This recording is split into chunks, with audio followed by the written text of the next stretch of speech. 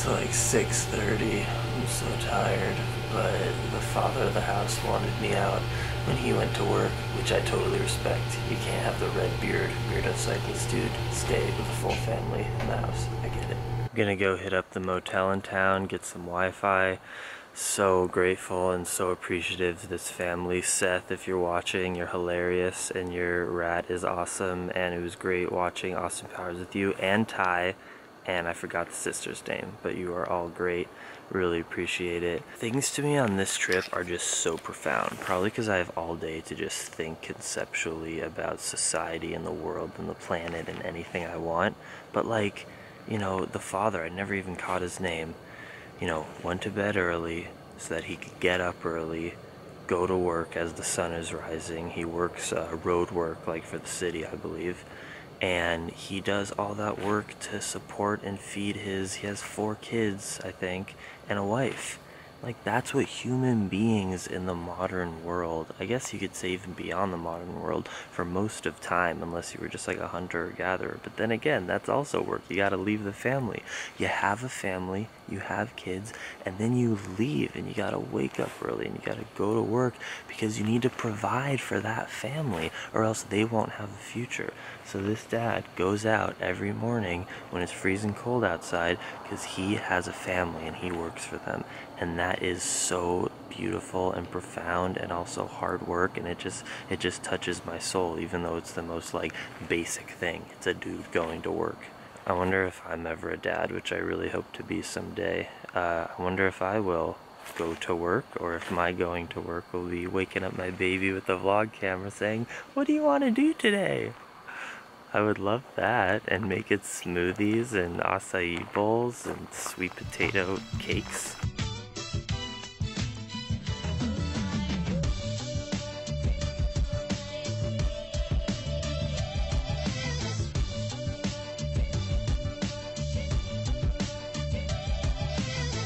Got a Wi-Fi connection here at this motel. Again, not enough to upload. It's at 2% in the last like 20 minutes, so I won't be able to upload vlogs fully, but I can get some work done. I got my tea going, and I'm watching Canadian news. How great.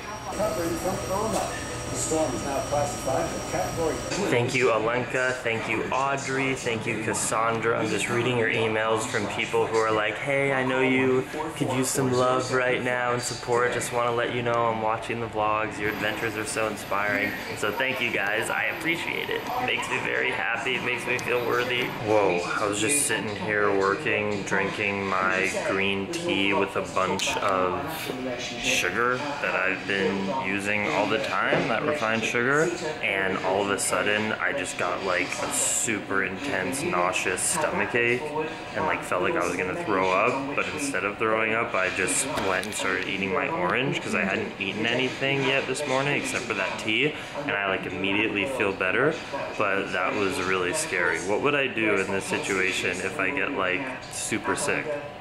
I guess I would probably like buy a motel room if I needed to. Ooh, good thing I feel better. That was not fun. Okay, I feel a lot better. I'm gonna go over to the grocery store, buy my food for the next like two days. I don't think I'm gonna hit any resupply points for the next two nights and two and a half biking days. These are so lightweight and vegan. I read the ingredients. Of course, there's some processed stuff, but I'm gonna try it out. I'm gonna get two packets.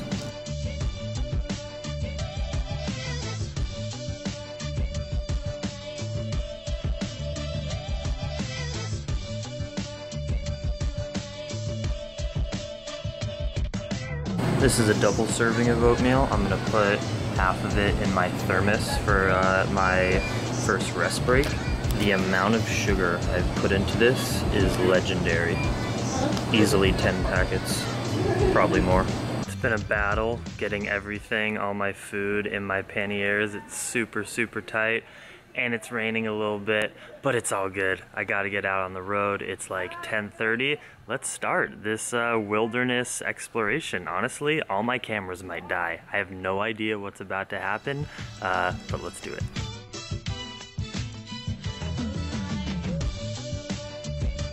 It's true that the clouds trap in some heat. It's definitely warmer. Oh, this is glorious.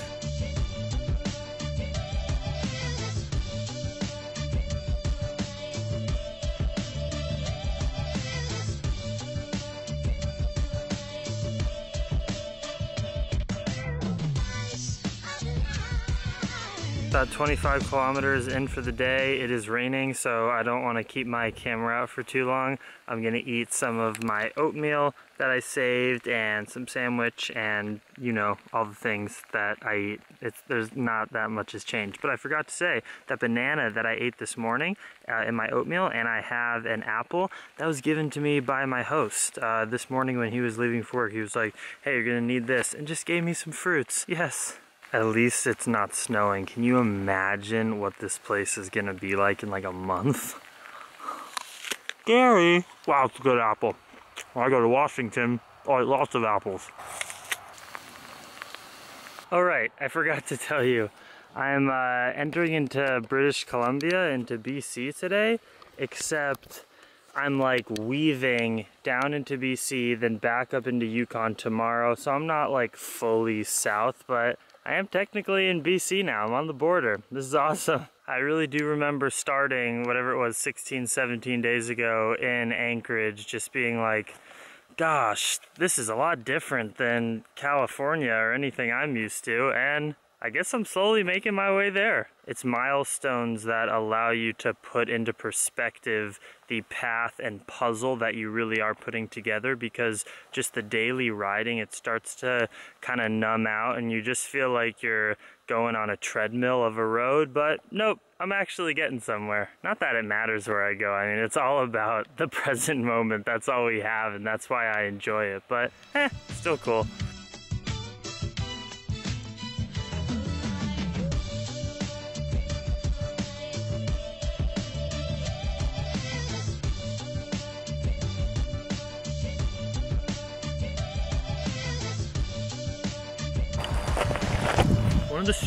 Parts about these lands is that there's nowhere to like sit.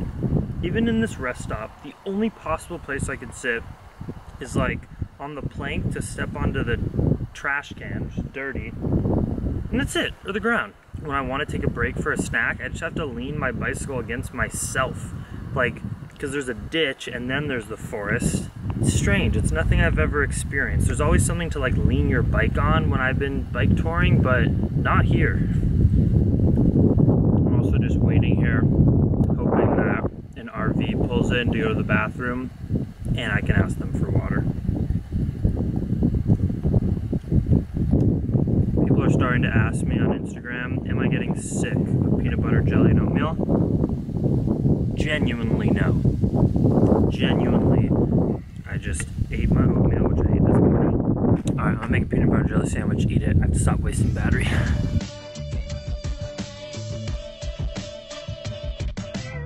I like this street art right here. Weird Blue Dog, NBD16.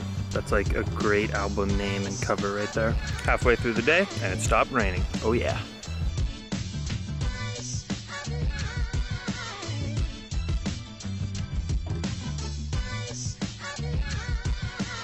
You guys, this little weasel is crazy. I'm trying to get him off the road.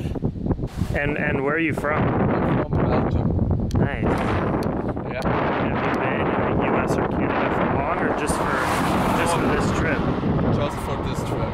Yeah. I traveled a lot uh, for my job, but not uh, in the US a little bit. In Miami I've been, in New York, but uh, not the West Coast.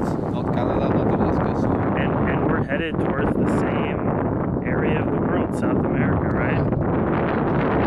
May- Maybe I'll see you there. Nice. so, but maybe I'm planning to go back then in two years. yeah, you'll So- come visit me in two years. Tone, the motorcyclist, gave me water. Also, some other guys before at that rest stop. Remember when I was like, hey, I'm gonna wait around until someone gives me water? That happened too. That's because pretty much every day in my life the universe provides and I manifest things. It's not a superpower, it's just once you know how to do it, you can do it. Headwind is really strong, so I'm moving slowly. It's already 5.45 and I have about 16 more kilometers for the day. I'm gonna make a quick sandwich. There's literally nowhere I can pull over. It's so weird. Like, it's just like this until to the forest, but there's no stops, there's no posts, there's no advertisements. It's just, I also realized the lighting's much better from this direction. Oh well.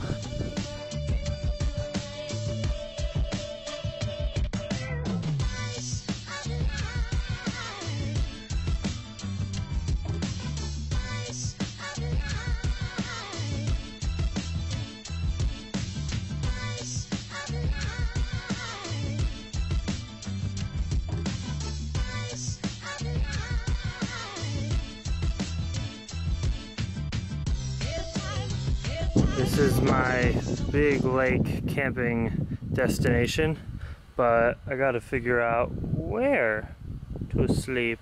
It's beautiful, it's so freaking beautiful. Hello, I finished up for the day, and I'm walking with my empty bottles to the creek.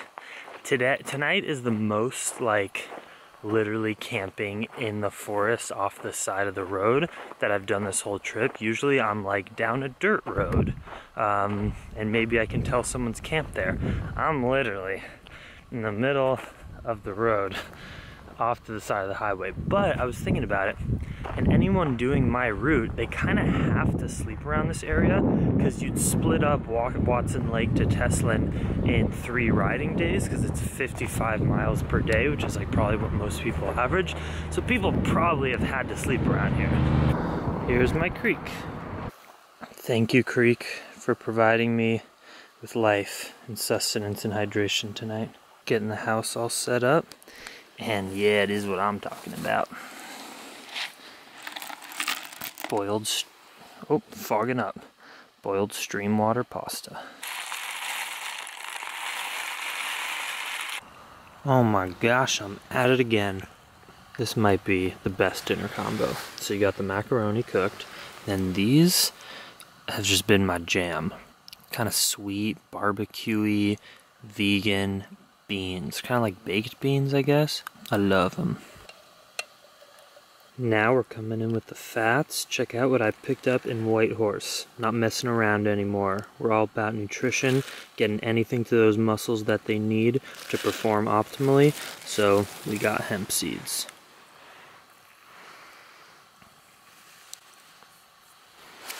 Might as well use them up. Less weight. Starting to get a bit dark. This is amazing. Oh, heavenly. Well, I'm gonna eat this and stay in my tent for hopefully 11 hours. Get up, keep going. And according to the locals, again, I will not hit one amenity. I didn't hit one today. Isn't that amazing? It's like I'm really backpacking just on a road, like a strip of asphalt in a wilderness with a bike. Cheers.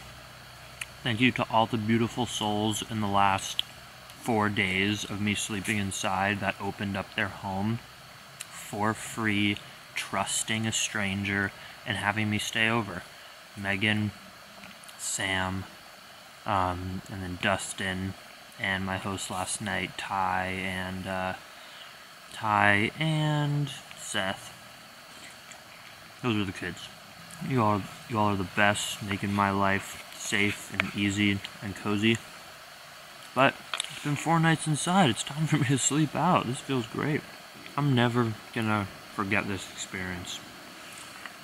I mean, this specific leg of it. And seriously, my vlogs don't even close to do it justice. If you're intrigued by this land that I'm showing you in these vlogs, you must come here and experience it. Alaska and Yukon. It's it will it is so beyond what your expectations of it even are. It's a hundred times as grand. It's freaky. You gotta come. Much love, Dream Extreme. Wish you could all be camping here with me though. That'd be nice.